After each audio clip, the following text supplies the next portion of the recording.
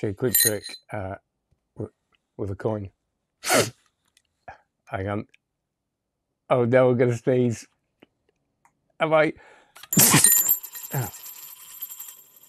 oh yeah, I'll show you a quick trick with a coin.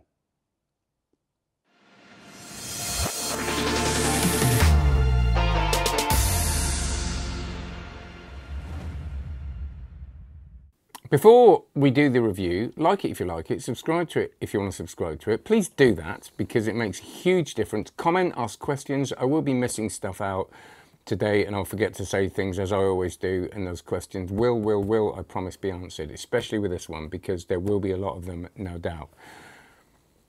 I have played with this extensively and it did feel like play. I really enjoyed it. So with some of these things, I just don't get a chance to get footage before reviewing because it just takes way too long. But just know that with everything, I sit and learn it, watch all the tutorial, you know, look at all the flaws in it, look at the way it works, give it loads of tries. So looking for consistency, so you know that, you know, this has been in my hands a lot.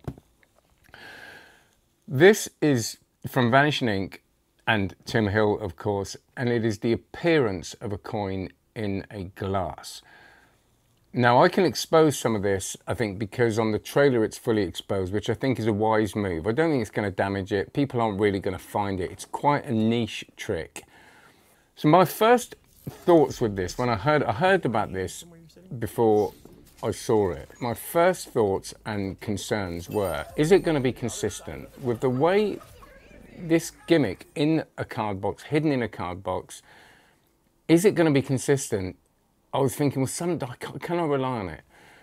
The other thing was, are you going to see it? And that's something that's not as cut and dry as you think because a card fly, a coin flies out of a card box and lands in a glass? The answer to the first question is yes, yes, yes. I have done this hundreds and hundreds of times. It is every time, and it's easy to learn where you need things to be.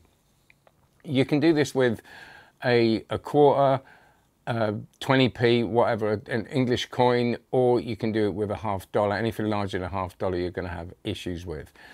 So it works. It works every time. The battery, I haven't run the battery out yet, but it lasts a long time. It doesn't take hours and hours to charge. And it's a solid from how much I've used it, which is about a week of going back to it now and back to it and setting up and playing with it. It's still working absolutely fine. You might be thinking a week's not much, but it feels, I can't see any reason for it to go.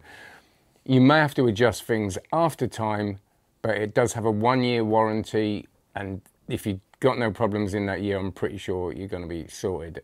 Tim is incredibly proud of this. I can tell that by the tutorials, I can tell that by the trailer, and he has overseen the production of this gimmick. So, the seeing bit of it, let's just, so you're going to have a card, table, a card box on the table. You're a magician, you would anyway. Don't worry about that. This can be, you know, after a card trick, it, it's incidental you can do all manner of things to get that card box in and out. You can switch it if you want to, but you know, my feeling is it's totally fine. Nobody's going to be thinking this is what it is, which is the great thing about this kind of tech. Don't use a phone or anything like that, so it's a standalone bit, bit of technology, a bit of hardware. That's not a problem for me. Some of you may be thinking, I'm looking at it and I can see it happening. This isn't a thing where you go, watch the glass. It's it's a surprise. It, you don't want them thinking it's going to be in the glass. You've incorporated the glass in some way, but they're going to hear it. And this is the thing it's that sound. It's so magical and it's a genuine, like that. They, they kind of instantly going to put the jigsaw piece, puzzles, pieces together. Flies off the tongue, doesn't it? Um, and they go, and it's there. It's one of those very slightly delayed responses. And this is part of a bigger trick. This is to enhance a trick. And this is what I love about this. I do coins across a lot. And there's, there's kind of no finale to it. Now, I don't mind that. There kind of is because each time they're looking more and more and it, it seems to become more difficult. But this provides a, a proper finale, a kind of surprise. They think this is going to happen and it doesn't.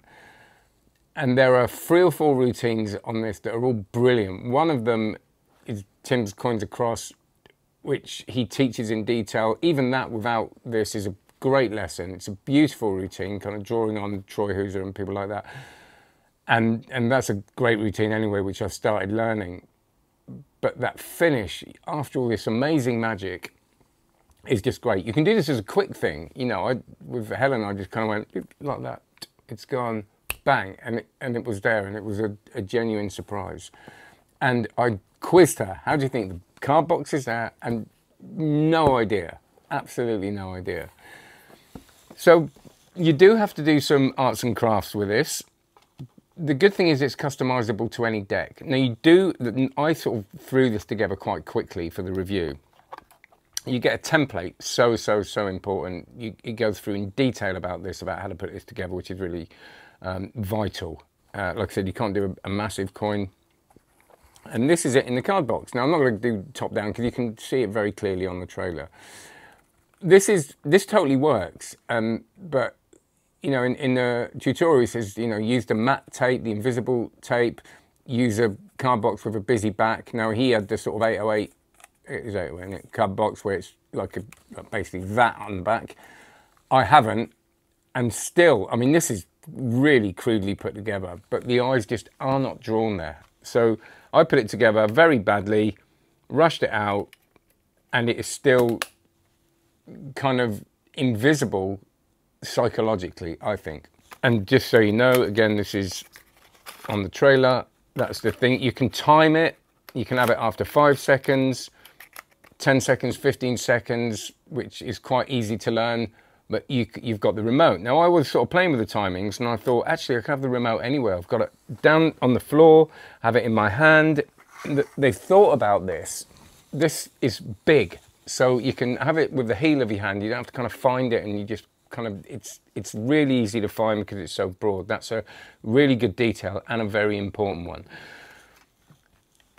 Like I said, any card box with with a back design, but I think you can probably get away with a bit more than you think. But you're not gonna, you know, you're not gonna want to make it too obvious.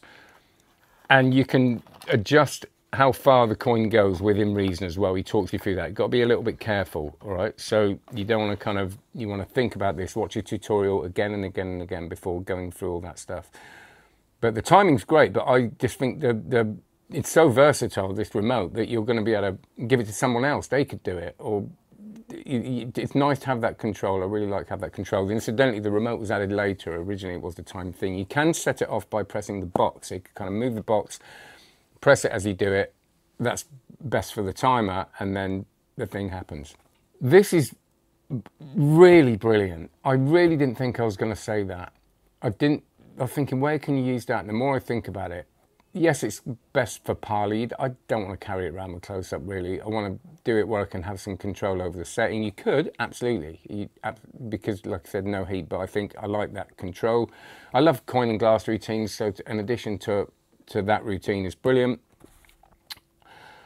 I really have been thinking about the spook, the weirdness of that that coin arriving. It's so magical, and of course you can have the card box as a kind of aged card box. I was thinking of a, a kind of almost like a bizarre trick, like a, a creepy story where, or a séance, séance, séance is, you know, where you have the lights dimmed and it's like you hear that and then the eyes are drawn to it and the coin arrives. Just really spooky, really powerful stuff.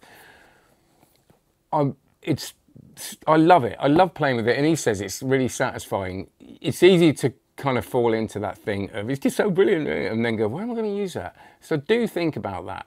You know, think about where you're going to use it because it's you know $172 at the moment. I actually think that's pretty good. I don't think that's bad if you're going to use it. You know, a lot, I thought it might be you know way above that.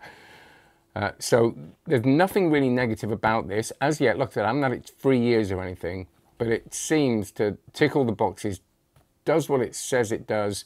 He exposes the workings of it, so you know what you're getting. And I think it's a, I really, really think it's an exceptional piece of work, but with those flaws. Some of you are going to be worried about the noise of it, right? It, it isn't silent. And when you're playing with it, it there's this kind of, this, this little sort of not that, what I just made. Nothing like that. Absolutely nothing like that noise that I just made. But there's a kind of setting off of it. And, and incidentally, when you arm it, you, you get it ready. It's it's all simple. It, it's it's really intuitive. It's very very clever, but just make sure you watch it all. Now that noise, because of what's happening in the mind of the spectator, it's just not perceived, and it is within the noise of the kind of coin arriving. Now theoretically, it's not because it's kind of a split second before it, but it's just all in the whole thing because they're not expecting it, and that's so important. They cannot be expecting that coin to arrive in the glass, and because they're not, it's just not perceived. It's not processed as being anything. So don't worry about that. So that's Tim Hill's emergence from Vanishing Ink. It's great, way, way, way better than I thought it was going to be. I'm, it's one of those tricks where you go, I want to find a way to use that, and I can't. I've got, I've got to have the show, and then, or maybe I can do that, because I just think it's, uh, yeah, it's something worth looking at if you're going to use it. So thanks very much. Thank you, Vanishing Ink, for that. Thank you for liking and subscribing if you've done that. If you haven't, please do it. If you want to do it, and have a look at onlinemagic.co. That's my online, obviously, membership site with 900 videos, live sessions every week uploaded on everything, and you can request stuff, and I'll do seminars. Let's call it seminars to sound posh. Seminars on anything you like. So thanks very much. Have a good one. Take care. Bye.